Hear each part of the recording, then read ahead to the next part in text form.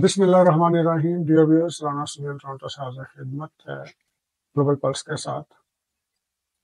ये अजीब सी बात है, खान साहब को पता नहीं क्या मुसीबत पड़ी है कि वो always inviting trouble for himself unnecessary unnecessarily वो जब चीज़ों को इनवाइट करते हैं तो उस वक्त वैसे तो वो करते ही रहते हैं, लेकिन बाद में वो जिसे कहते हैं कि वो बात से मुकर जाते हैं या कहते हैं मेरा बात करने का यही मतलब नहीं था। तो एक नई जनाबे वाली शुरू हो गई है, ये चीज़ अब शुरू नहीं हुई ये चीज़ उस वक्त से शुरू हुई है जब आपको याद होगा कुछ अर्सा कबल, जब ये मुस्लिम लीग नून वाले या पी डी एम वाले या इनका कोई वफद वहाँ गया था सऊदी अरब तो वहाँ मस्जिद नबी के अंदर इन्होंने नारेबाजी की थी। उस जगह पर नारेबाजी की थी, उस जगह पे उन लोगों से बदतमीजी की थी, जो भी उनके मुखालिफ लोग थे। तो ये मस्जिद नबी की बेहरमती थी, जहाँ पर ऊँची आवाज़ में लोग सांस भी आहिस्ता के नाजुक है बहुत।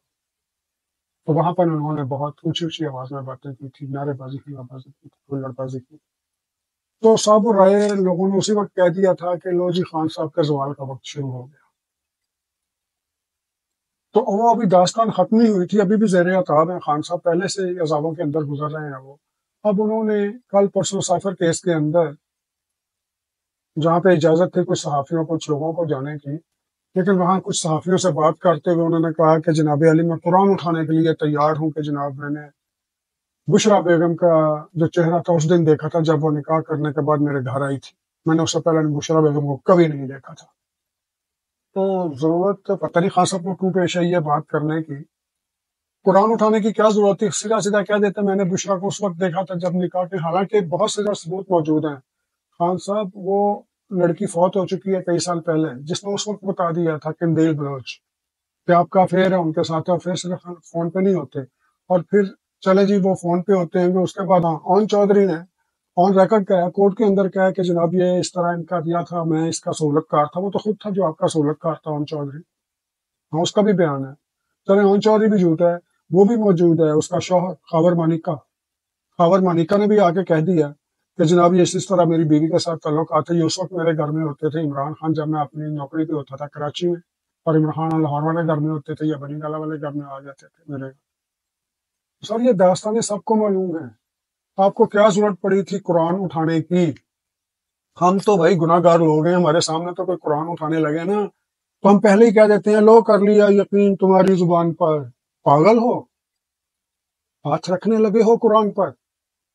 तो भाई हम किसी को कुरान पे हाथ भी नहीं रखने देते। आप वैसे ही बात कर लेते। आपने कुरान उठा के एक नए जाब को अपने ऊपर दावत दे दी अल्लाह ताला के नए जाब को। और ये नाजल होगा, ये दिखाई देता है दुनिया में भी दिखाई देता है आखिर में तो होना ही होना है। लेकिन मेरा यह कहने का मकसद है कि आपको ये ज़रूरत नहीं थी। अब हुआ क्या कि उसके जवाब में एक और आ गई जनाब पटिशन हाई कोर्ट में। वहाँ पे क्या पटिशन आई है उन्होंने कहा, जी, मानिका का जो मुलाजम है, मोहम्मद लतीफ उसने भी कुरान उठा लिया। उसने कहा, खान साहब आकर जो जो हरकतें करते रहे, मैंने दो तीन मरतबा इन हरकतों को अपनी आँखों से देखा है।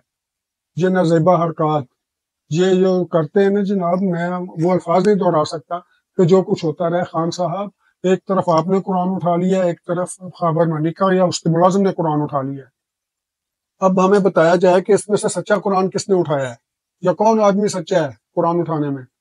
आप दोनों सच्चे नहीं हो सकते, लेकिन ये ज़रूर है कि आप दोनों झूठे हो सकते हैं। और झूठा कुरान उठाने वाले की सजा क्या है? ये इस्लाम के अंदर मुतयन है। हमारे कानून के अंदर भी मुतयन है। शायद जी आपकी गलत फहमी है कि आप लोगों की तरह कहेंगे, जी, मैंने तो तोबा कर ली जी को मैंने जूता उठाया था। मैंने कफारा दे दिया, दाल दे दी, चने दे दिए, खजूर दे दी या कुछ पैसे दे दिए कफारे के कुरान उठाने के। अब कफारे के ऊपर कुरान उठाना और उसका पैसे दे देने और पूरी कौम को गुमराह करना, ये कोई छोटा गुना नहीं है। उलमा कराम से सजा है, उलमा कराम से, कि वो इसके लिए इम्प्लीमेंट करवाएँ झूठा कुरान उठाने वालों को। अब यह सजा इमरान खान को होनी चाहिए या लतीफ को होना चाहिए। अगर दोनों झूठे हैं, दोनों को होनी चाहिए। लेकिन बात करने का मकसद ये है कि कुरान को इस तरह बीच में ना लेके आए। मैं उस वक्त रिपोर्टिंग का मेरी आगाज़ था तो शुरू शुरू में जुडिशल अफेयर्स जो था, मैं करता था सेशन कोर्ट के। तो सेशन कोर्ट में एक केस आया और एडिशनल सेशन जज थे, शफकात अहमद। मुझे आज भी नाम याद है, अल्लाह करे कहे याद हो। शफकात अहमद के केस एक आया तो वहाँ पर आदमी ने आके कहा, जो वकील साहब ने, कि जो जो मेरा मुलजम है जी है इस पर इल्ज़ाम लगाया गया है और यह सच्चा है, ये कुरान उठाने को तैयार है अदालत में, कि इसने ये जुर्म किया ही नहीं। तो शक्का साहब ने कहा जज साहब एडिशनल सेशन जज थे उस वक्त उन्होंने कहा वकील साहब, ये कुरान पाक पढ़ने के लिए है, समझने के लिए है, हदायत के लिए है, ये आकर अदालतों में उठाने के लिए नहीं है। आप अपने सबूतों से, अपनी एविडेंस से, अपने कानूनी नकार से साबित करें कि आपके मुलजम के ऊपर इल्ज़ाम गलत है। कुरान पाक अगर अदालतों में उठाना होता या कुरान पाक पर आकर अपने इंसाफ करना होता तो ये अदलिया, ये जुडिशरी पाकिस्तान की या पूरी दुनिया की उसके ऊपर कहीं पर भी इतने पैसे खर्च ना किए जाते। हमें तनख्वाहें ना दी जाती कि अगर हमने तो इंसाफ कुरान पर जिसने कुरान उठा लिया वो सच्चा। तो ये उस वक्त की बात आज मुझे याद आई है। और वैसे भी अगर कहा, सुनी है कहावत मुझे उसका, ये नहीं पता कि किसकी नरेशन है। एक इंग्लिश कोर्ट था तो उसका, और उर्दू तर्जमा पढ़ा था मैंने। तो उसने कहा कि उस शख्स ने बात की तो मैंने यकीन कर लिया। लेकिन जब उसने बात दोहराई तो मुझे थोड़ा सा डाउट हुआ कि ये कहीं पर कुछ गड़बड़ है। और उसके बाद जब उसने कसम उठाई तो मुझे यकीन हो गया कि ये शख्स झूठ बोल रहा है। तो मुझे इजाज़त दीजिए। इसके साथ ही, इंशाल्लाह, अगले ब्लॉग में हाजिर होंगे अल्लाह हाफिज।